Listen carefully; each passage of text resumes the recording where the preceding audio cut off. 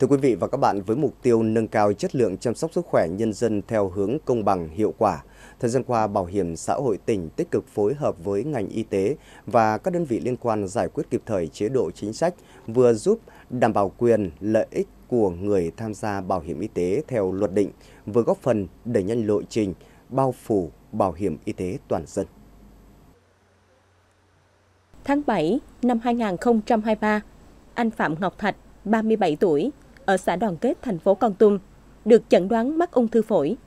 Sau khoảng thời gian điều trị tại Bệnh viện Tuyến Trung ương, hai tháng gần đây, gia đình làm thủ tục cho anh nhập viện tại khoa ung bướu Bệnh viện Đa khoa tỉnh. Kinh tế gia đình không dư giả vì anh làm thợ hồ, vợ làm công nhân, thu nhập bấp bênh. Khó khăn vất vả trăm bề, nhưng gia đình phần nào an tâm vì có bảo hiểm y tế chi trả 80% chi phí khám chữa bệnh cho anh. Nói chung là lúc mà chưa có bảo hiểm y tế thì em đi khám ví dụ như là nhập viện ở đây là ví dụ như 10 ngày thì nó cũng hết 11 12 triệu.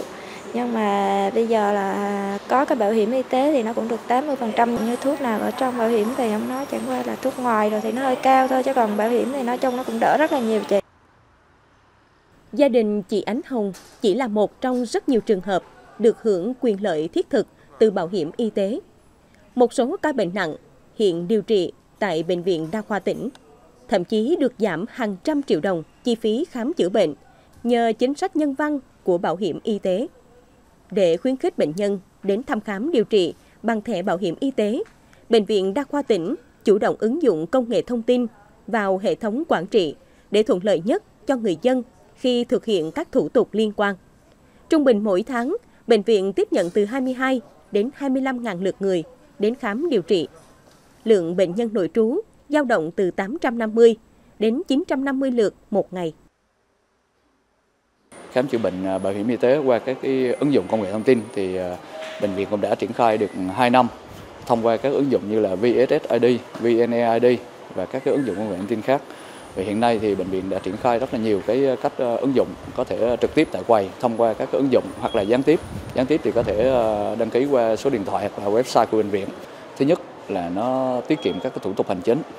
Cái thứ hai là cái mức độ chính xác của các cái thông tin thì thông qua cái ứng dụng thì cái thông tin về tên tuổi về những cái thông tin khám chữa bệnh của bệnh nhân được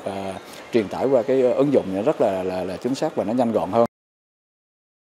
Tính đến tháng 6 năm 2024, tỷ lệ bao phủ bảo hiểm y tế trên địa bàn tỉnh đạt 92,5%, với hơn 85% dân số được tạo lập quản lý hồ sơ sức khỏe điện tử tại trạm y tế và 100% trạm y tế xã thực hiện khám chữa bệnh bảo hiểm y tế. Đến cuối năm 2023, toàn tỉnh có gần 1 triệu lượt khám chữa bệnh bảo hiểm y tế với chi phí khám chữa bệnh tăng hơn 400 tỷ đồng gấp khoảng 12 lần so với năm 2009. Bảo hiểm xã hội tỉnh đã kịp thời ban hành nhiều cái văn bản hướng dẫn triển khai thực hiện à, việc quản lý sử dụng hiệu quả chi phí khám chữa bệnh bảo hiểm y tế năm 2024 chủ động phối hợp với sở y tế à, tăng cường công tác kiểm tra và kiểm soát chi phí khám chữa bệnh bảo hiểm y tế, đề ra các giải pháp phòng chống và ngăn ngừa tình trạng lạm dụng à, trục lợi quỹ bảo hiểm y tế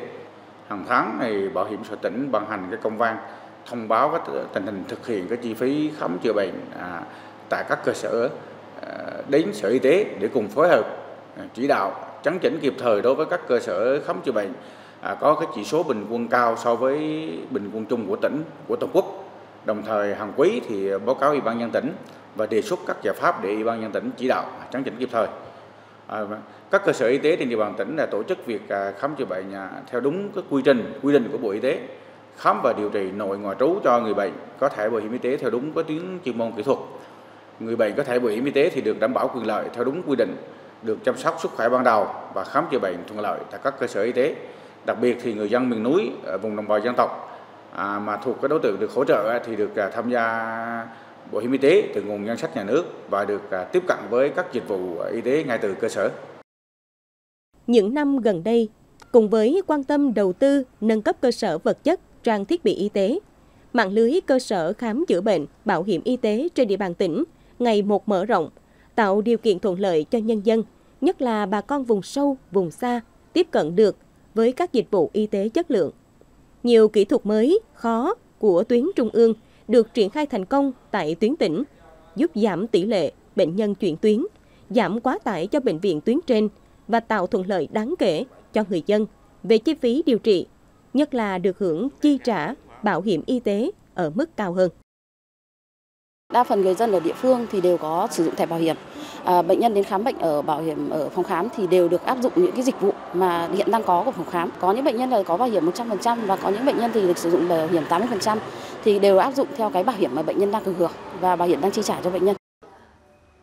Quyền lợi bảo hiểm y tế ngày một mở rộng, chất lượng dịch vụ y tế cải thiện theo hướng tích cực là yếu tố quan trọng để người dân thêm tin tưởng vào chính sách bảo hiểm y tế của đảng, nhà nước. Từ đó góp phần gia tăng tỷ lệ người dân tham gia bảo hiểm y tế.